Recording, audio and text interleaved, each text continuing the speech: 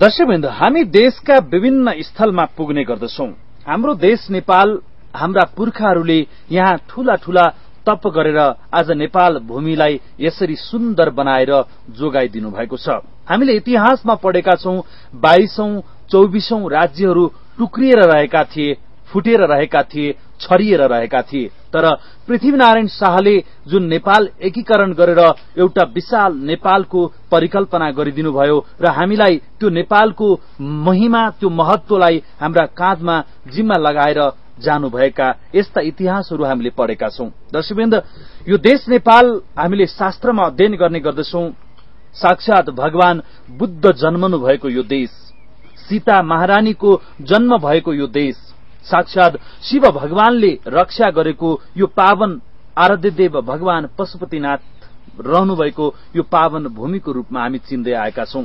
हामी ओमकार ध्वनिको माध्यमबाट देशका विभिन्न धार्मिक स्थलहरूमा पुग्दछौं जहाँ जहाँ पुग्दछौं खोला नालाहरू त्यहाँका प्राकृतिक महत्वहरूसँग भगवानका विविध कथाहरू जोडिएका कुराहरू हामी सुन्दछौं। दर्शकवृन्द काठमाडौँ उपत्यका काठमाडौँ जिल्ला र मकवानपुर जिल्लाको संगम स्थल चन्द्रागिरी क्षेत्र जो चन्द्रागिरीको डाँडामा अहिले आइएमई ग्रुपद्वारा विशाल एउटा जुन यो औद्योगिक यो विशाल एउटा चाहिँ रमणीय एउटा ग्रामको परिकल्पना गरेर अहिले विकास भइरहेको छ। रमणीय ग्रामको रूपमा अहिले यो क्षेत्र प्राकृतिक अनि पर्यटकीय ग्रामको रूपमा विकास भइरहेको छ। अरबौंको लगानीमा आइएमई ग्रुपले अहिले चन्द्रागिरी डाँडाको मुहारलाई नै परिवर्तन गरिरहेको छ। र उक्त स्थानमा पनि यो विकासको अत्यन्त महत्व जोडिएको छ आदरणीय भक्त सज्जन कि यहाँ भालेश्वर महादेव विराजित रहनु भएको छ। इच्छेश्वर महादेव जो इच्छा पूरा गर्ने महादेव यहाँ विराजित रहनु भएको छ त्यही हुनाले जो काठमाडौँको जुन थानकोटमा एउटा केबुल कारको परिकल्पना अहिले चन्द्रागिरीसँग जोडिरहेको छ र यहाँ विशाल मन्दिर निर्माण भएको छ पृष्ठभूमिमा यहाँले देखिरहनु भएको छ यही स्थान हो जहाँ पृथ्वीनारायण शाहले आएर काठमाडौँ उपत्यकाको नजर गर्नुभएको थियो र सुन्दर नेपालको परिकल्पना गरेर काठमाडौँ उपत्यकालाई नेपाल भूमिमा जुन एउटा गाँच्नको लागि उहाँले संकल्प गर्नुभएको थियो भालेश्वर महादेव इच्छेश्वर महादेवलाई यहाँ इच्छा प्रकट गरेर यो देश एकीकरण गर्न सकौं भनेर भालेश्वर महादेवको तपस्या गरेर अनि नेपाल एकीकरण गर्नुभएको भन्ने धार्मिक आध्यात्मिक जुन एउटा महत्व महिमा यहाँ जोडिएको रहेछ। र दर्शकवृन्द ओमकार ध्वनि देशका विभिन्न यस्तै महत्वपूर्ण विषयलाई खोज्दै हिँड्ने क्रममा आज हामी यो क्षेत्रमा आइपुगेका छौं। यहाँका कसरी मन्दिरहरू निर्माण हुँदैछन्? ऐतिहासिक संरचनाहरूलाई कसरी व्यवस्थित गरिँदैछ? प्राकृतिक छटाहरूलाई कसरी व्यवस्थित बनाएर सुन्दर अनि पर्यटकीय ग्राम निर्माण हुँदैछ त? यहाँका विषयहरूलाई आजको ओमकार ध्वनि बनाएर यहाँहरूमा जोड्ने जमर्को गरेको छु। दर्शकवृन्द यो क्षेत्र चन्द्रागिरी क्षेत्र धार्मिक दृष्टिकोणले साक्षात भालेश्वर महादेव भालेश्वरी देवी शिव र शक्तिको एउटा पावन संगम स्थलको रूपमा हामी यहाँ आएर दर्शन गरिरहँदा एक प्रकारको अनुभूति हामीले गरेका छौं एक प्रकारको शक्तिको अनुभूति स्वयं हामी आफैले गरेका छौं। तर अब नयाँ संरचनाहरू बन्दैछन्। ती नयाँ संरचनाहरूमा ऐतिहासिक संरचनाहरूलाई ऐतिहासिक पृष्ठभूमिलाई कसरी मिलाइँदैछ? यी विषयलाई पनि आजको ओमकार ध्वनिमा यहाँहरूमाझ जोड्न गइरहेको छु। यहाँहरूको ध्यान केन्द्रित गर्न चाहन्छु चन्द्रागिरीको ऐतिहासिक धार्मिक अनि पर्यटकीय ग्रामतर्फ।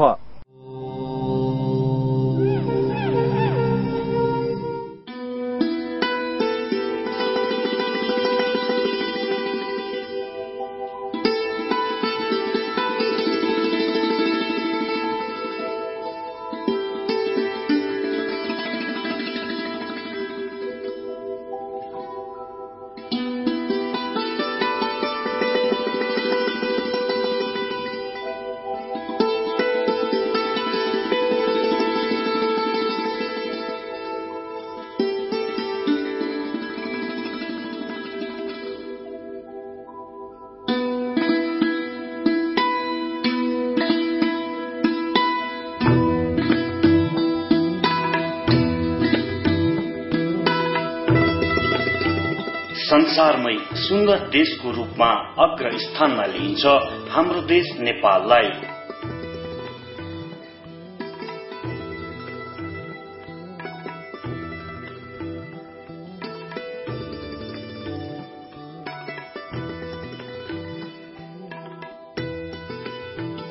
विश्वको शिरभागको रूपमा रहेको यस देशको महिमा र महत्व वर्णन गरि नसक्नुको छ।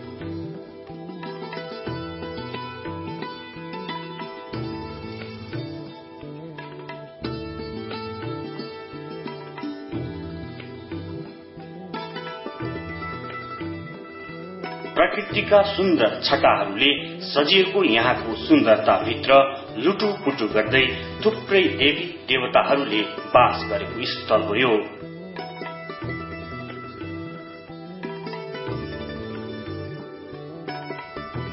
यहाँको यही शान्त मनोरम वातावरणभित्र रहेर थुप्रै ऋषि मुनिहरूले सिद्धता प्राप्त गरे।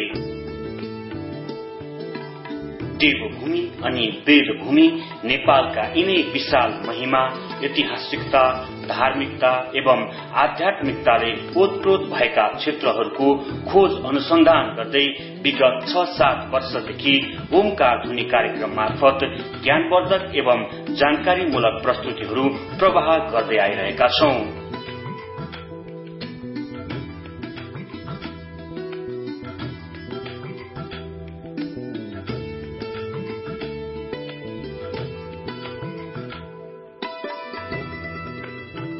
यस्तै थुप्रै प्रशंसनीय ऐतिहासिक एवं धार्मिक पर्यटकीय गन्तव्य मध्ये काठमाडौँ र मकवानपुर जिल्लाको संगम क्षेत्र चन्द्रगिरी क्षेत्र पनि एक हो जहाँ भालेश्वर महादेव विराजित रहनु भएको छ।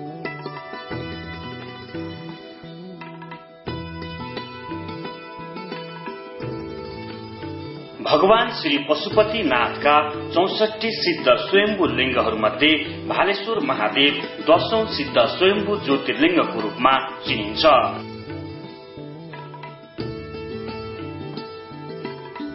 काठमाडौँको पृथ्वी राजमार्ग हुँदै थानकोट चेकपोस्टबाट चितलाङ कुलेखानी जाने पुरानो बाटो हुँदै देउराली भन्ज्याङ मकवानपुर र काठमाडौँको सिमाना क्षेत्रबाट करिब दुई तीन किलोमिटरको दूरीमा भालेश्वर महादेव विराजित रहनु भएको छ।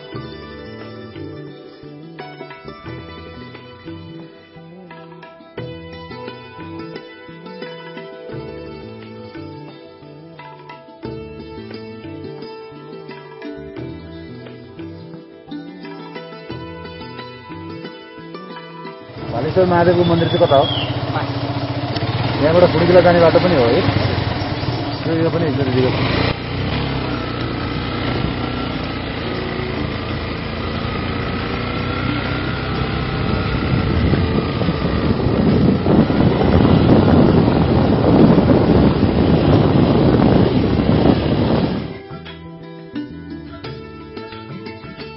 त्यहाँसम्म जाँदा बाटोमा देखिएका दृश्यहरूको आनन्द लिँदै ओमकार धुनीले दुई हजार त्रिहत्तर साल आषाढ एक गते उक्त क्षेत्रतर्फ प्रस्थान गरेको थियो।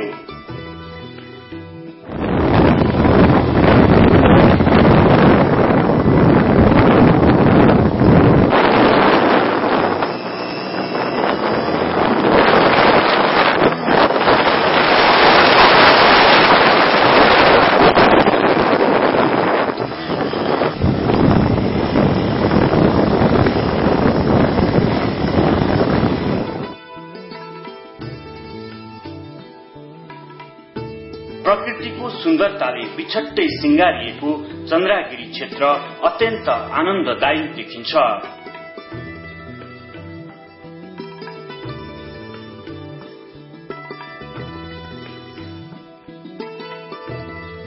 अलिक उच्च भाग रहेकोले चिसो बादलको स्पर्श गर्दै गर्दै बाटोमा रहेका स्थानीय होटलमा तातो चिया नास्ता गरे पश्चात हामी उक्त दिन भालेश्वर मन्दिर क्षेत्र पुगेका थियौं।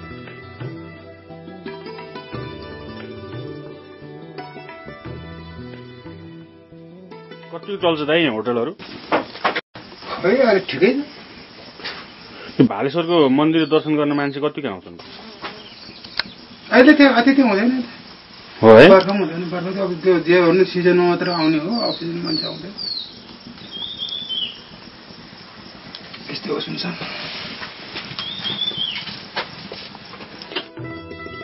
दुईवटा अञ्चल नारायणी र बागमती र दुईवटा जिल्ला मकवानपुर र काठमाडौँको उच्च भूभाग चन्द्रगिरी पर्वतमा विराजित भालेश्वर महादेव क्षेत्रसम्म पुग्न अब केबुल कारको शुरूआत छिट्टै शुरू गरिने अवस्था हामीले अवलोकन गर्यौं।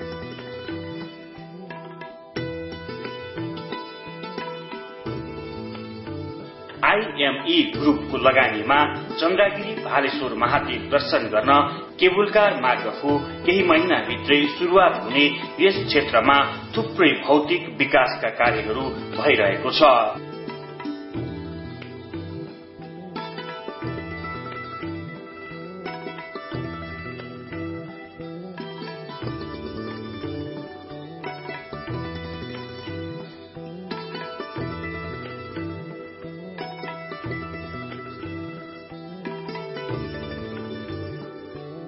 ऐतिहासिक एवं धार्मिक आस्थाको केन्द्र यस चन्द्रगिरी क्षेत्रलाई धार्मिक पर्यटकीय गन्तव्य स्थलको रूपमा तीव्र रूपमा विकास गरिएको छ।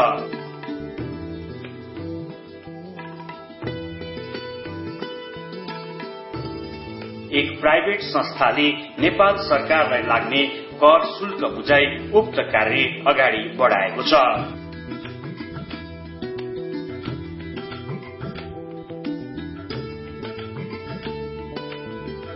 कार्य सुरु भएको दुई वर्ष भयो। हजुर। हजुर। अनि यो खास खास कुन उद्देश्यले के उद्देश्यले यो गरिँदैछ? यो हाम्रो अब एउटा मन्दिर भयो। मन्दिरको लागि पनि हो। अब हामीले विकास नेपालमा हरेक किसिमको हुन्छ। जस्तो मुख्य चाहिँ मन्दिरलाई नै यो अध्यात्मको कुरालाई नै जोडिएको छ मन्दिरमा पनि भयो अनि केवलकार भयो। अब सेकेन्डमा आयो अहिले मनकामना थियो। अहिले फर्स्टमा मनकामना थियो। अहिले सेकेन्डमा यो हाम्रो यहाँको भयो चन्दागिरीको हजुर भएर हो। यसलाई चाहिँ के नाम दिएको छ? के छ यो विषयमा? अहिले चन्दागिरी नै हो। चन्द्रगिरी केवलकार केवलकार भनेर दिया छ। यहाँ के के हुन्छन् अब भोलिको दिनमा? हाम्रो यहाँ हाम्रो यहाँ के भन्छ अहिले केवलकार छ मन यहाँ मन्दिर छ। अनि हाम्रो भ्यू के भन्छ इमेजिङ पार्क पनि छ। यहाँनिर। अनि हाम्रो यहाँ हल पनि छ। धेरै विभिन्न कुराहरू छ जस्तो यो चाहिँ कहिलेसम्ममा भइसक्छ? यहाँ चाहिँ सर्वसाधारणहरूलाई कहिलेदेखि चाहिँ यसको यो अब खुल्ला गरिन्छ? अहिले हामीले त्यस्तो केही भन्न सकिँदैन। अब एक महिना पनि लाग्न सक्छ दुई महिना पनि लाग्न सक्छ।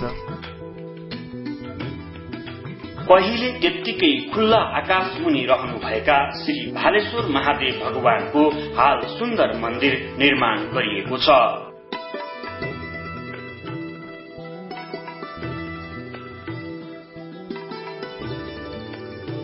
अत्यन्त कलात्मक ढंगले निर्माण गरिएको उक्त मन्दिरको बाहिर एउटा विशाल नन्दी विराजित गराइएको छ भने भित्र शिवलिङ्ग एवं नन्दी विराजित गराइएको छ।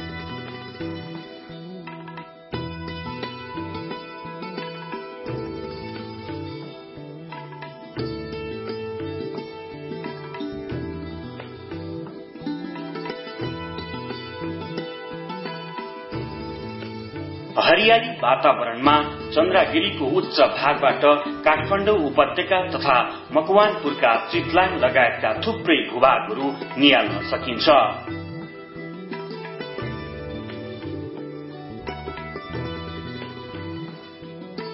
नेपाल एकीकरणको समयमा श्री पाँच पृथ्वीनारायण शाह यस स्थानमा आइपुग्दा भाले बासेको समयमा भगवान शिवको एवं देवीको आराधना गरेको क्षेत्र भएकोले यसलाई भालेश्वर भनी चिनिएको किम्बदन्ती रहेको पाइन्छ।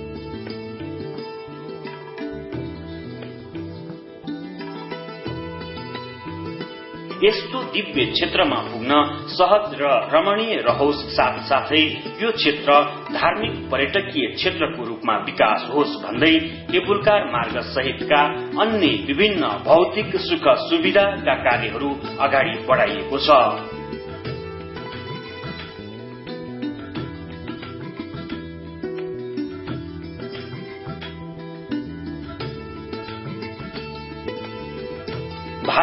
भगवानको कृपा ग्रहण गर्दै प्रकृतिको आनन्दको अनुभूति गर्न यहाँ देशका विभिन्न क्षेत्रहरूबाट भक्तजनहरूको आउने क्रम बढ्दो छ।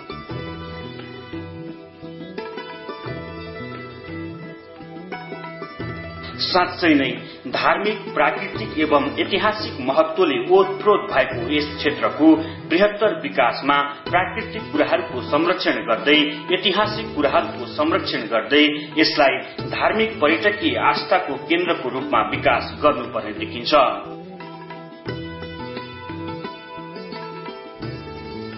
यो दिव्य क्षेत्रमा पुग्दा एउटा स्वर्गीय आनन्दको अनुभूति गर्न सकिन्छ।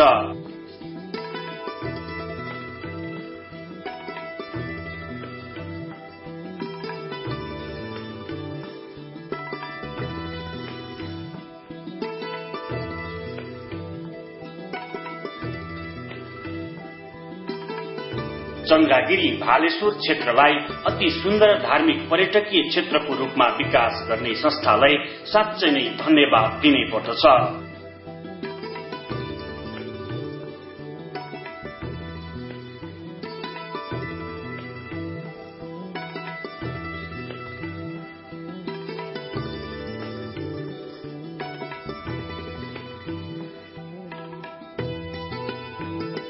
हाम्रो देशका यस्तै क्षेत्रमा विराजित अन्य भगवानका मठ मन्दिरहरूको यस्तै विकास निर्माण गर्न अन्य संघ संस्थाहरू पनि यसरी नै लागि पर्न आयामी ग्रुपले एउटा प्रेरणा दिएको छ यो विकासले।